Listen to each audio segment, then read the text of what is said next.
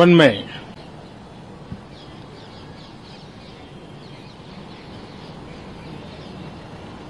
जो पहला सत्र हुआ था,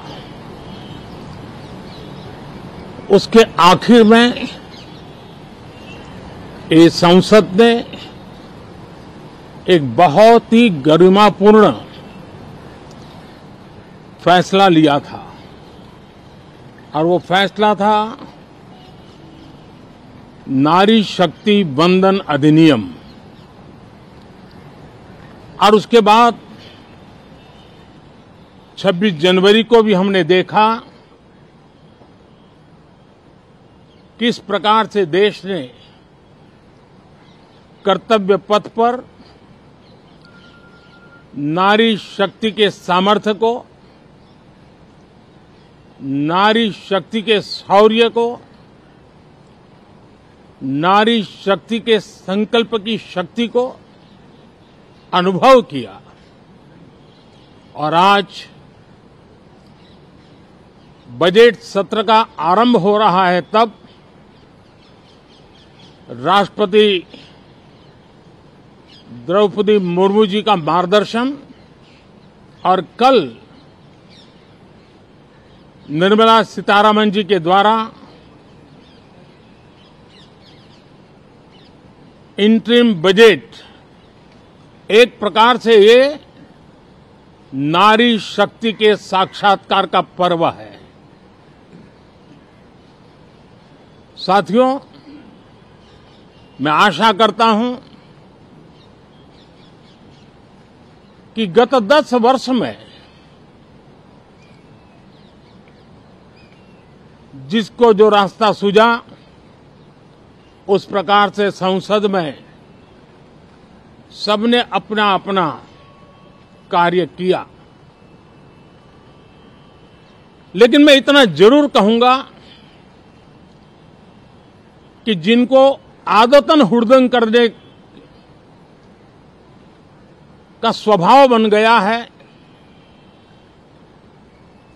जो आदतन लोकतांत्रिक मूल्यों का चीरहरण करते हैं। ऐसे सभी माननीय सांसद आज जब आखिरी सत्र में मिल रहे हैं, तब ज़रूर आत्मनिरीक्षण करेंगे कि 10 साल में उन्होंने जो किया।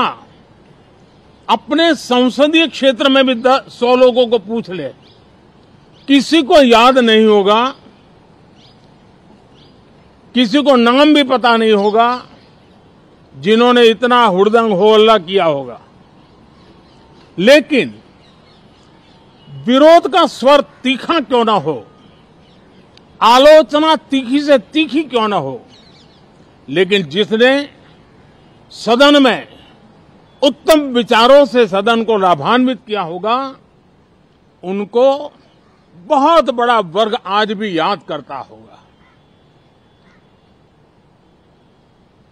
आने वाले दिनों में भी जब सदन की चर्चाएँ कोई देखेगा तो उनका एक एक शब्द इतिहास की तवारीख बन करके उजागर होगा। और इसलिए जिन्होंने भले विरोध का किया होगा, लेकिन बुद्धि प्रतिभा का दर्शन कराया होगा, देश के सामान्य मानवीय के हितों का कंसन दिखाया होगा हमारे खिलाफ तीखे से तीखी प्रतिक्रिया की होगी, उसके बावजूद भी मैं अवश्य मानता हूँ कि देश का एक बहुत बड़ा वर्ग,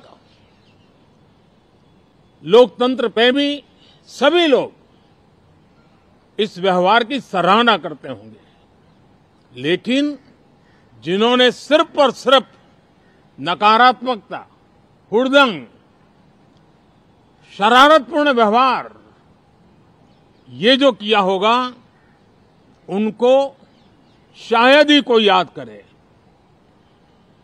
लेकिन अब ये बजट सत्र अवसर है, पश्चाताप का भी अवसर है, कुछ अच्छे फुटप्रिंट छोड़ने का भी अवसर है तो मैं ऐसे सभी माननीय सांसदों से आग्रह करूँगा कि आप इस अवसर को जाने मत दीजिए। उत्तम से उत्तम परफॉर्म कीजिए। देश हित में उत्तम से उत्तम अपने विचारों का लाभ सदन को दें और देश को भी उत्साह और उमंग से भर दें। मुझे विश्वास है, आप तो जानते ही हैं कि जब चुनाव का समय निकट होता है तब आमतौर पर पूर्ण बजट नहीं रखा जाता है। हम भी उसी परंपरा का निर्वाह करते हुए पूर्ण बजट नई सरकार बनने के बाद आपके समक्ष लेकर के आएँगे। इस बार एक दिशा निर्देशक बातें लेकर के